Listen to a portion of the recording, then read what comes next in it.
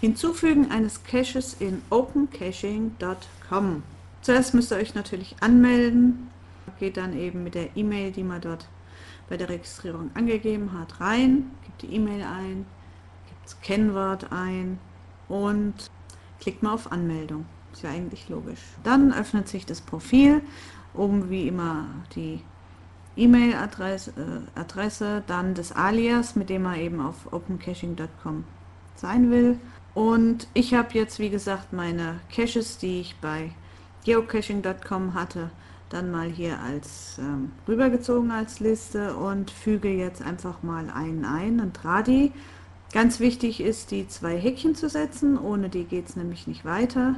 Den Status öffnet sich, setze ich auf aktiv, der Cache ist in Ordnung. Und dann kommt hier eben die Bewertung, die man selbst einstellen kann, Schwierigkeit, Gelände, Größe. Und bei der Schwierigkeit in direkter Sicht, was soll das eigentlich sein, ähm, habe ich mir also jetzt hier oben mal das Panel aufgerufen. In direkter Sicht, der Behälter kann an einem offensichtlichen Platz nach wenigen Minuten Suche gefunden werden. Also in direkter Sicht hatte ich eigentlich gedacht, so, du läufst dahin und äh, da steht die Dose offen. Deswegen habe ich immer getarnt genommen. Ist aber natürlich eine Sache, getarnt der Cache ist versteckt oder getarnt, sollte innerhalb einer halben Stunde Suche gefunden werden. Also ich glaube, wenn da einer eine halbe Stunde sucht, bin mir nicht so sicher, ob das dann noch als Schwierigkeit 2, denn wenn man dann anschaut, Schwierigkeit 3 ideal versteckt, äh, bis zu einer Stunde Suche, Suche, Suchzeit oder mehr wird benötigt, ist schon krass. Eine harte Nuss, da hätte ich dann gesagt, okay, wenn du eine halbe Stunde suchst und dann guckst du und denkst so, das kann es eigentlich nicht sein, aber ich hebe jetzt mal kurz den Stromkasten hoch und dann ist der Stromkasten der Cache oder so. Hm, würde ich sagen, eine harte Nuss.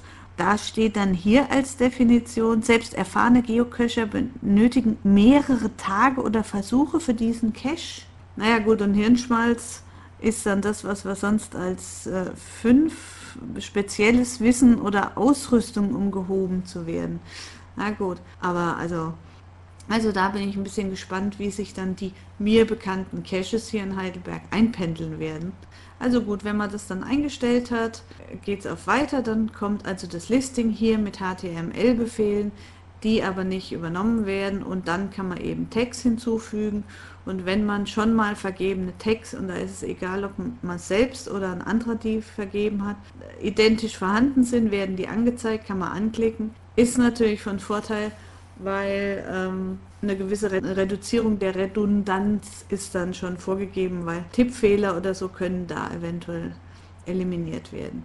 Dann senden und dann taucht er nur noch hier oben als Link auf. Man springt also zur Liste zurück. Und dann habe ich eben einfach nochmal das Listing mir angeguckt. Ähm, wie gesagt, die Bilder sind also raus, äh, auch über einen direkten HTML-Befehl auf ein Bild, was in Flickr läuft oder so, taucht also nichts auf. Und die Aktivität, also es sind schon einige Cacher da gewesen. Ein, ein gewisses Log-Delay wohl drin, denn ähm, der Cache wurde auch früher nochmal gefunden. Alles in allem ist das aber relativ einfach und deswegen ist dieser Film auch schon wieder zu Ende. Das war Hinzufügen eines Caches in opencaching.com.